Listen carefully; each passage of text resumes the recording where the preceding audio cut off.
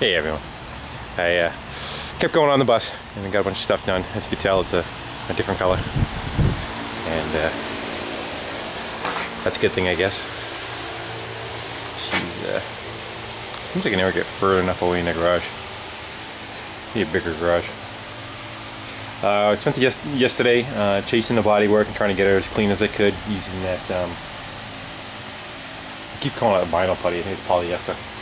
And uh, just like chasing pinholes and doing little imperfections. Got all that taken care of. I went around and uh, took a masking tape and drew some lines down where the original panels kind of met and uh, then took a hacksaw blade and cut in a straight line to into the Bondo and then wrapped the hacksaw blade in sandpaper and kind of opened those lines up just so it kind of looks original again. There. That, that one right there.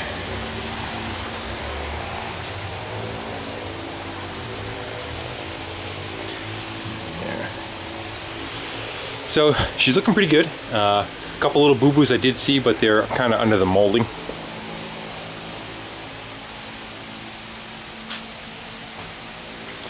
One on the door right here. It shows up or not, but the uh, the molding covers that, so I'm not going to worry about it. And uh, a couple of little pinholes on uh, one of the two side doors, but uh, I think I'm going to let that go. The uh, well, while I was priming it, I should show what I was using for primer. I used a whole gallon too. 2K high build urethane primer. Uh, use that with uh, 185 reducer and of course the uh, 2K thinner or uh, catalyst. So I used all that and it was working pretty good. The only thing that I started noticing as I get towards the, the, lower sections of it is there was a lot of overspray, a lot of like dried, um, dried overspray that uh, was kind of accumulating. So then when I got down here, it has that, uh, I call it exaggeration, but it has that look of like um, stucco. but fine, you know, it's just like with the little dust particles collected. Uh, I, I, know I have to wet sand the whole thing out anyway, so I wasn't that concerned about it. I was thinking it should have laid down a lot smoother than what it did. I'm not quite sure what I did wrong. I was running the gun around, uh, I'm gonna say 50 psi, 40, 50 psi. It was, uh, it was, you know, made in China guns. High volume, low pressure, but it worked pretty good on the Mustang, so I just kind of used it over again.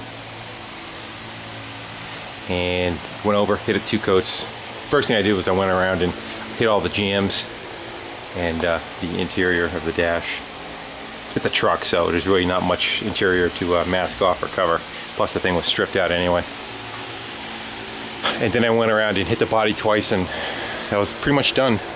After that, shot in the engine compartment a little bit. How's that for masking, huh? Towels. Towels and aluminum foil and bags. It works. So if anybody uh, can steer me what my direction I was going wrong, possibly I, I was thinking that uh, the, the reducer was evaporating a little too quick. It's a nice dry day today, and I'd say it's probably 80 degrees.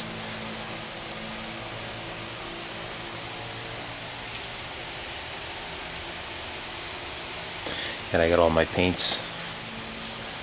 I would say for two gallons of urethane single stage. Uh, a gallon reducer, two gallon, uh, two bottles of um,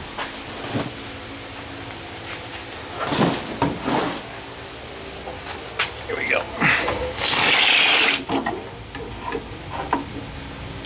Two gallons of urethane paint, gallon reducer, and um, two activators was 360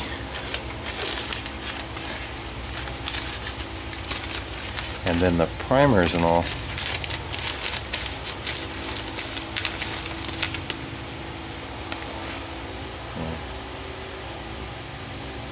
The primer and a gallon of reducer and the bottle I think was like one let's say 114. So 500 bucks in materials to paint it. And I was hoping I was to have some primer left over. I still have to do the wheels and the bumpers. Oh well, nothing, nothing fun's cheap, right? I like it being all one color. Got this masking job on the steering wheel. Hey, it works. A dollar at the uh, the dollar store. You buy uh, a stash up here. Little pop-up wrappers. Makes masking real easy. So that's what I did. On top of the masking. Have the tape. The doors and all. So I'm psyched. Tomorrow is Saturday. I'm going to plan to try to let this thing sit uh, 24 hours, which is what I think it needs to do for it to uh, off gas and uh, shrink in as much as it's going to shrink in. And then wet sand the whole thing with 400. Then tack it off and I'm going to do the body all the white, which is going to be uh, all the jambs, the dash, the back spacing around all the doors of the jambs, the engine compartment. And then it has a like a blood red color that goes from this line down. My thinking is I'm not even going to mask it. I'm just going to shoot the white, you know, kind of let it overhang a couple of inches and then mask off the red and shoot down. If that's wrong, somebody give me a heads up. Uh, if I'm right, that's how I'm doing it. Have my panels drop down so you can keep my garage pretty clean. I roll this one back up after I'm done. It seems to work pretty good. I mean, it's not airtight. Usually I do is I, I clamp the corners together, but there's a little bit of a gap. But it seems to uh, pretty much keep it contained to that area. Whatever works, right? Alright, guys. Peace out.